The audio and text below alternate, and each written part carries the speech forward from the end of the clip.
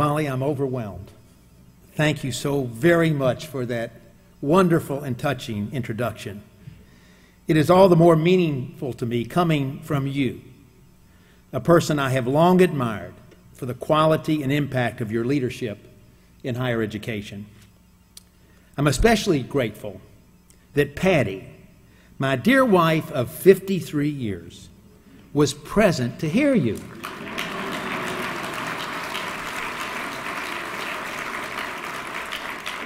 Now, now, Patty has a wonderful way of keeping me grounded. On those occasions when I've received some form of recognition, she always asks, Why you? I also want to say what an honor it is to give a lecture named after Bob Atwell. Bob, we are all in your debt for the legacy of your decades of leadership in higher education. I was pleased to see that the theme for ACE's 95th annual meeting is leading change. This is ideally suited for my comments. As I will highlight during my remarks today, our nation's future well being on several dimensions needs the higher education community to lead change as perhaps never before in our history. We must unite in common cause to address what I have come to see as, as perhaps the most critical challenge of our time the college completion imperative. There is, of course, no shortage of champions for the college completion agenda in America who usually cite the need for higher levels of education and skills in our nation's workforce if we are to remain a leader in the global economy. From President Obama to the Gates Foundation to the Lumina Foundation to the National Governors Association to most of our leading higher education associations, including APL, APLU, ASCU, and ACE, to the National Academy of Sciences, to the National Science Foundation, which sees the need for more STEM degrees as a crisis that threatens America's national security, and to many others. There is a real sense of national urgency on the issue of college completion. Now, are there, there are some in our nation who challenge these ambitious college completion goals. They argue that there is no urgency regarding college completion. They claim, wrongly I believe, that the need for more college graduates is overstated, and the jobs in the marketplace today and in the years to come requiring a college degree are grossly overestimated. However, those who challenge the college completion goals are necessarily mute on the irrefutable data documenting the economic value of a degree for the degree recipient. The expected lifetime earnings of a person with a bachelor's degree is over a million dollars more than a person with only a high school diploma. Moreover, even at the depths of the Great Recession, the unemployment rate for those with a college degree, even recent co college graduates, was less than half of that for those with a high school degree only. This leads me to what I feel is the most urgent and compelling element of the college completion imperative social equity. I graduated from high school back in another century. Come to think of it, everyone here graduated from college back in another century. It's just that my graduation was much further back than most 1956, to be exact. After graduation, some of us went on to college. Many others went straight into the workplace. A few years ago, Patty and I traveled back for our 50th high school reunion, and I observed an amazing thing. Most of those who had gone straight into the workforce were retired and living in Florida. and here I am still working. Can you imagine that same phenomenon 50 years from now for today's high school graduates who don't earn a college degree? We in higher education must face two sobering facts. First, the path to a secure economic future for individuals today passes through our gates. And second, too few, way too few of our nation's economically disadvantaged are traveling along that path. The data are chilling. A child born into a family in the highest quartile of income has a roughly 85% chance of earning a college degree. A child born into a family in the lowest quartile of income has a less than 8% chance of earning a degree. How does a child escape from poverty in today's world without a degree from one of our institutions? A fundamental value of this great nation is the American dream. The belief that a person's status at birth is not supposed to determine his or her status throughout life. From our nation's founding, we have prided ourselves as being the land of opportunity, the world's shining example of an upwardly mobile society, the nation where each generation passes a better life on to the next. Now, admittedly, progress towards these ideals has varied over time based on race, gender, and ethnicity. But there is no denying that until this moment in our history, movement toward our founding principles and values has been inexorable for all. But we are staring at the possible disappearance of the American dream. The OECD 2012 Education at a Glance report notes that children of less educated parents in the U.S. have a tougher time climbing the education ladder than in almost any other developed country.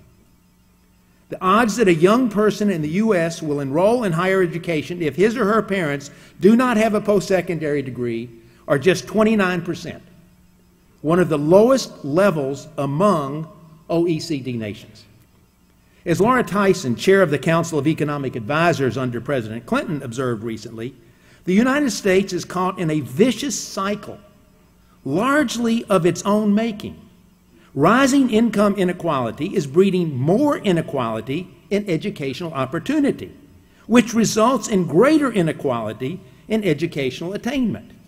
That, in turn, undermines the intergenerational mobility upon which Americans have always prided themselves and perpetuates income inequality from generation to generation.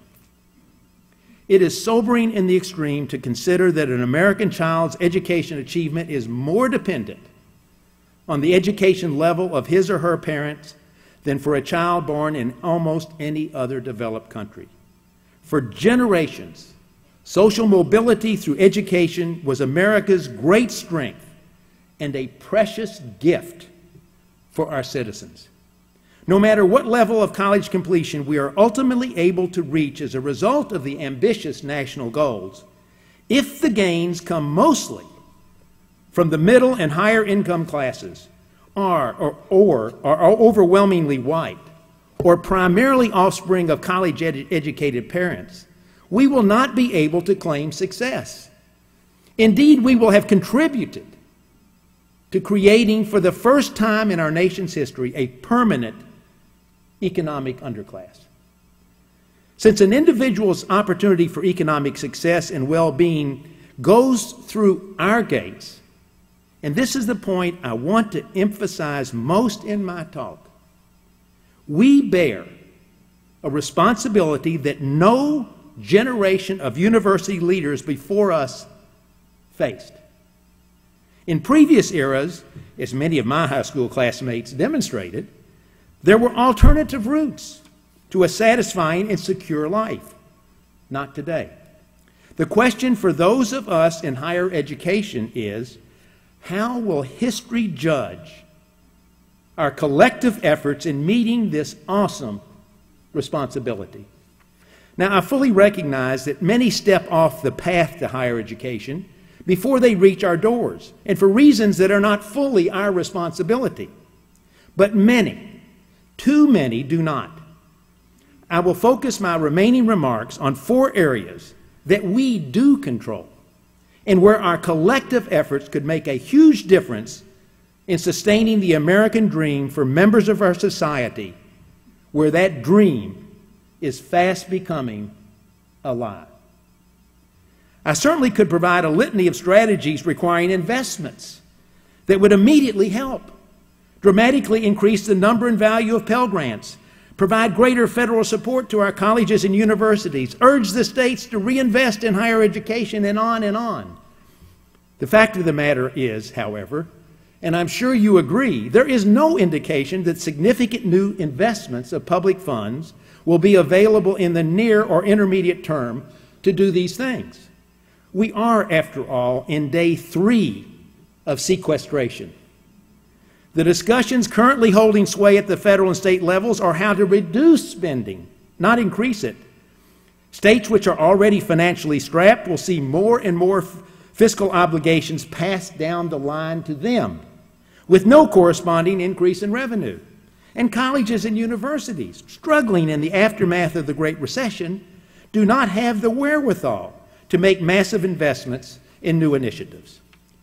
But this fiscal reality cannot be an excuse for paralysis on our part. The stakes are too high. So, for the four items I wanted to discuss, to discuss, these are things that do not require significant new funds, but they do require a new mindset and a willingness to lead change in order for higher education as the gatekeeper for social equity and the nation's economic competitiveness to meet its responsibilities to our nation. The first issue I want to address is a relatively new one for me college matching, or more to the po point, college mismatching. William Bowen, Matthew Chingos, and Michael McPherson advanced the significance of the matching issue in an important book titled Crossing the Finish Line Completing College at America's Public Universities. One of their counterintuitive findings was that African American males with high school GPAs below 3.0 who enrolled in the most selective flagship universities were more likely to graduate, 46%, than those who enrolled in less selective flagships, 40% or in the least selective flagships, 38%. The message for black males and other minority and low income groups is go to the best place that will admit you. And the authors were quite explicit in their conclusions, voicing the belief that the primary forces leading to un high undermatch rates were a combination of inertia, lack of information, lack of forward planning for college, and lack of encouragement. Their recommended course of action was to find more effective ways of informing high achieving students and their parents of the educational opportunities that are open to them and of the benefits they can derive from taking advantage of these opportunities. Eleanor Dillon and Jeffrey Smith at the University of Michigan, Melissa Roderick and her colleagues at the University of Chicago, and others have delved deeply into the issue of college matching. Their focus is on academically capable, low income, and minority students. These are students who will graduate from high school and are well prepared for college, but who need advice and support to choose college wisely. Absent the appropriate support, these students too often choose to attend non selective four year colleges for which they are academically overqualified as compared to their fellow classmates. Moreover, an alarming number of highly capable students do not pursue post secondary studies at all. The not for profit think tank, MDRC, launched the College Match Program in Chicago. This school based program delivers crucial information and assistance to students and parents to help them make thoughtful decisions about college enrollment. In their pilot, they have shown a 50% increase in placing high ability, low income students in institutions better suited to their career ambitions. Jay Sherwin of MR, MDRC wrote a policy brief on this effort last year, and he makes an interesting point. By learning now how to match capable students to the right college, we may well be better prepared to help a much larger student population make wise college choices in the future. I find his argument very compelling. This is not to imply that high ability, low income students can't prosper at open admissions institutions. Obviously, many do. But it does mean that selective institutions need to do a much better job of meeting their obligations in our common goal of serving more low income students and serving them better. The bottom line is that the higher education community, two year, four year, public and private, must shoulder more responsibility and take ownership of the matching issue. We in higher education have the information and expertise secondary students need but lack, especially students from low income families. And we have a recognized presence in our communities. We must develop stronger partnerships with middle and high schools in economically disadvantaged districts. If we do, we can make a real difference in helping students properly align their abilities, aspirations, and expectations with the options best for them. We are taking steps in this direction in Maryland with Way to Go Maryland, an information campaign aimed at middle school students with a particular focus on those from low-income families. Through this program, we provide students with material about college prep curricula, financial aid availability, and access to admission counselors. The research is clear. There are plenty of capable low-income students who could graduate from our institutions if we would just make the extra effort to find and support them. A second issue we must address is our policies and practices related to financial aid. The U.S. Department of Education has expressed a willingness to rethink the structure of its aid programs, including the Pell Grant, and is seeking new ideas from the higher education community. We should seize this opportunity because, in truth, these programs are not working as well as they should. Too many students are using Pell Grants and other forms of financial aid to attend schools mismatched with their abilities and career goals, and too few persist to a college degree. This is not an area of expertise for me, but thanks to a program funded by the Gates Foundation, a number of organizations have given significant thought to redesigning federal aid programs in order to make them more effective. APLU is one of these organizations and is calling for reforms such as per student supplements for institutions that serve large numbers of Pell recipients well, and for a requirement that institutions serving Pell Grant students provide those students with a feasible path to a degree and, a regular, and regular audit, audits of their progress. The New American Foundation has proposed that Pell eligibility end after the completion of 125% of credits required for a degree. MDRC is experimenting with a program where Pell Grants are given, given out in bi-monthly payments rather than in lump sums, so students can better manage their expenses. Others have called for greater incentives in Pell Grants to reward students making substantial progress towards a degree. From my perspective, these are all sensible recommendations. In any case, some organization, and who better than ACE, needs to take the lead and develop a Pell reform agenda that addresses many of the inc inconsistencies and inefficiencies in Pell and other, and other federal programs. There has never been a more propitious moment for financial aid reform at, at the federal level. As first envisioned, financial aid programs were almost exclusively for students who would otherwise not be able to afford college. With the introduction of the Hope Scholarship Program in Georgia and its counterpart in other states in the 1990s, there was a turning point. Since the early 1990s, the proportion of state funds going to merit based aid nationally has risen dramatically by more than 50%, largely at the expense of, not in parallel with, need based aid we can and must work within our states to strengthen aid programs that serve our neediest students. This brings me to institutionally based student aid.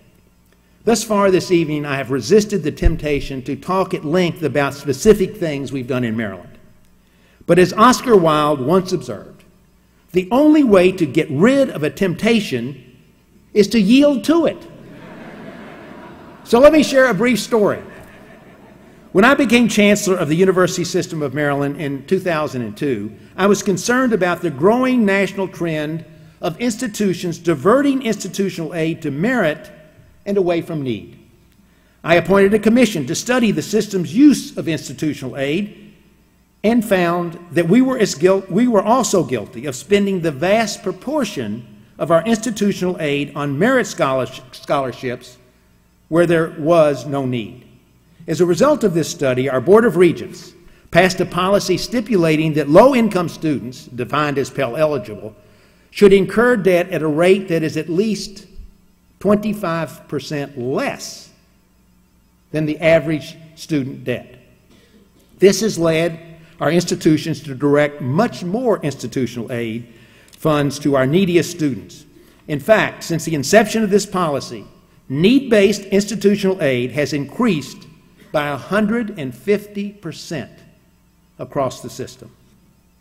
A broad based commitment to substantially favor need based aid over aid based on merit where there is no need is a policy goal that is both achievable and desirable within our institutions, and one that we should all pursue as gatekeepers uh, for the American dream. The third area we must address if we are to meet our obligations to the larger society is building a stronger culture of completion on our campuses. Most of our institutions spend considerable resources on marketing. We mount public relations and advertising campaigns, develop attractive brochures, all aimed at attracting students to our institutions. In the area of ubiquitous communication, that is understandable. Interestingly, however, in too many cases, we don't demonstrate the same commitment to understanding why many students leave our institutions without a degree. Compelling evidence of our failure in this regard has been compiled by Katie Haycock and the Ed Trust. Katie and her colleagues systematically grouped colleges and universities with like characteristics same mission, resources, program mix, proportions of underrepresented minorities and low income students, and so on. And then they compared completion rates. The natural assumption would be that there is little difference in these rates, since the profiles of entering students, resources, etc., are so similar. The interesting finding was that the rates differed significantly. For example, in the study, Penn State had graduation rates that were, on average, 20 percentage points higher for all students as well as for underrepresented minorities than many of its carefully selected peers that had almost identical institutional characteristics. The University of Northern Iowa had rates 15 percentage points higher than the average of its peers. And Albany State had rates 11 percentage points above its peers. There are other compelling examples of high performing institutions, but I think the point is clear. Something is going on at these institutions that isn't at many others, and that something is producing significantly higher completion rates. Katie and her colleagues wanted to know what that something is. Their findings were not surprising, but they are instructive, and hopefully we can all learn from them. They found that at the high performing institutions, presidents made a visible, vocal, and persistent commitment to retention and completion. Second, these students systematically collected data on student performance and then acted on that data. And finally, these institutions created degree completion pathways for students and regularly admitted, audited their progress. One example profiled by the Ed, Ed Trust is Florida State and its cross campus success team. This team, convened by the Chief Academic Officer, unites professionals from core academic and student services. Regular meetings generate uh, detailed action plans with specific tasks to yield continuous improvement in meeting the needs of students. The results are impressive. Compared to one peer institution, same mission, same profile, same size, similar SAT scores, roughly identical percentage of Pell and underrepresented minority students, Florida State's overall graduation rate stood at 68.7% versus 56 at its peer. And underrepresented minority graduation rate, rates were were even more impressive 69.9% for Florida State versus 44% for the peer. I find these examples both compelling and encouraging. They show that leadership matters. And commitment can make a huge difference in improving retention and completion rates for all students, and especially low income and underrepresented minority students. As the gatekeepers for social equity, how can we not follow the lead and adopt the strategies of these high performing institutions? Let me now turn to the final issue I want to discuss, and it is admittedly our greatest challenge in meeting our obligations to the larger society the resources necessary to achieve our ambitious college completion goals. Jane Wellman, then of the Delta Project, and Dennis Jones, president of the National Center for Higher Education Management Systems, that are known as NCHEMS, did some work a few years ago to estimate what it would actually cost to reach the higher education attainment goal of 60 percent if we continued to operate exactly as we, as we are without any significant structural changes. Their analysis determined that it would require an increase in real spending per student of somewhere between 4% per year, somewhere around 4% per year, every year through 2020. By contrast, real spending increases per student over the past decade have been around 1% per year. I'd like to see a, a, show of hands from those who expect to see their annual per student expenditures increase by 4% a year in constant dollars every year over the rest of the decade. Anyone? No one? So the conclusion is clear. If we don't change the way we operate, if we don't find some means of curing what Bill Bowen calls the cost disease in higher education, we don't have a realistic hope of meeting the critical college completion goals many of us have signed on to achieve. Our only hope is to find lower cost means of delivering high quality higher education. Lower cost and high quality must go together. Either without the other leads us to failure. Even a decade ago, I would probably have said lower cost and high quality is a pipe dream. We have quality and cost built into our DNA. But, in my view, forces and ideas have emerged that offer real hope that we can actually deliver quality education at lower costs. These emergent forces are called disruptive strategies and technologies. I prefer transformative to disruptive, but by any name, they deserve our careful attention. We have Carol Twigg and the National Center for Academic Transformation to thank for showing us the potential for active learning and flipped classrooms to improve learning outcomes and reduce costs in certain types of courses. The potential for significant disruption is rising now because of advances on two fronts. These are the ubiquitous nature of the internet, the power of modern IT and intelligent software on the one hand, and the advances made in cognitive sciences on the other. We, actually, we are actually coming to understand how information gets imprinted on the brain. And we can build those triggers into intelligent tutors available to students through workstations. Nobel laureate Carl Wieman has conducted studies into how the brain acquires expert thinking. He then developed teaching and learning approaches combining knowledge, process, and context to advance conceptual mastery. Changing the model from passive listening, as unfortunately you're doing right now, to active mental effort didn't just improve learning, attendance and engagement increased as well.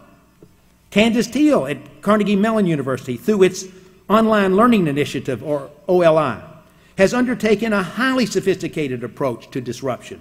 Drawing upon the expertise of its cognitive science faculty, OLI developed computer enhanced learning mo modules and online tutorials with intelligent tutors built into the software.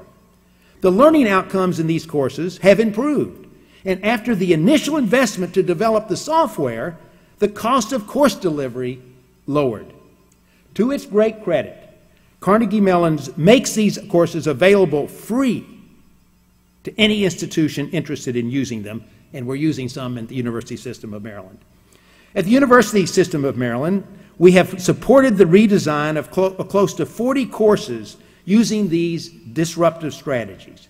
This past fall, more than 12,000 students were enrolled in such courses. In addition, we have worked closely with other publics, private institutions, and community colleges in the state to facilitate the disruption of an additional 31 courses across the state. Preliminary results have been positive, but to gain a broader understanding of the impacts of these transformations, we are initiating a major longitudinal study to more broadly assess the impact and value of our efforts. We are also working in partnership with the nonprofit Ithaka, based in New York City, conduct, conducting a Gates funded study to determine the impact and effectiveness of using massive online, open online courses, better known as MOOCs, from Coursera as the learning platform in so called hybrid flipped classrooms. We will be assessing the learning outcomes and delivery costs for these courses as compared to those traditionally taught sections of the same courses. In my mind, we have no choice we must invest time and effort in finding new means of delivering high quality education at lower costs. There is no alternative if we are serious about meeting our commitment to the nation's college completion uh, goals and advancing our responsibilities for social equity. We must be open to new teaching and learning strategies and invest in their development. While I am now convinced lower cost means of delivering high quality education are possible, I want to offer one word of caution. We must not yield on the quality of the education our students receive. There will be external pressure to adopt strategies before we have evidence that they do not diminish learning outcomes. These pressures must be resisted. That's why in Maryland, we test these new approaches before we allow their broad application. In order to be effective, these disruptive strategies must, of course, be driven by faculty, not imposed upon them. At the same time, faculty have an obligation to embrace the effort to find lower cost means of delivering high quality education, just as administrators must not ignore the potential that disruptive strategies have so too must so, so too faculty must be open to pedagogical strategies that enable us to serve more students and serve them better. In the Tanner lecture at Stanford University last year, Bill Bowen, former president of Princeton University, articulated this point well. He wholeheartedly endorsed the importance of academic freedom as it relates to freedom of faculty to think and write and speak their minds as scholars and teachers. But he observed that there is nothing about academic freedom that equates to control over methods of delivering classroom instruction. In fact, he concluded that the use of overly sweeping academic freedom arguments to block reasonable efforts to innovate in the classroom actually puts the core principles of academic freedom at risk. As we move to embrace the potential that can be unlocked through disruptive teaching and learning strategies, we are not casting aside our values and integrity. Rather, we are counting on them to make this success possible. These values must support our efforts, govern our actions, guide our progress, and empower us to address all of the four issues I've mentioned today as we strive to meet the overarching challenge of the college completion imperative. As I bring my comments to a close, I want to make one final observation. Throughout history, America has faced formidable challenges that threatened our social fabric.